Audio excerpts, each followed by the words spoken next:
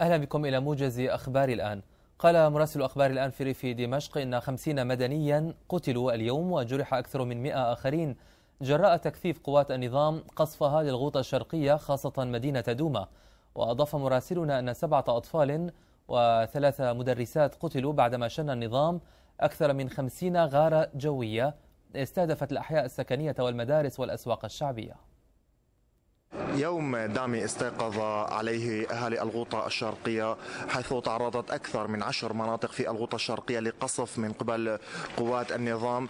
آه، كانت لدوما النصيب الأكبر من تلك الغارات حيث تعرضت لقصف بصواريخ عنقودية أدى إلى دمار أحياء سكنية بكاملها كما نرى في هذا الحي. كما تعرضت آه، مدرسة لقصف بتلك الصواريخ. الأمر الذي آه، أوقع أكثر من عشر شهداء في تلك المدرسة. عم يضرب علينا من الصبح اليوم. بالعنقودي وبالطيران وضربوا المدرسة كل أطفال وبنات صغار. مجزرة يعني قتلوا أطفال كثير ينتقم منه.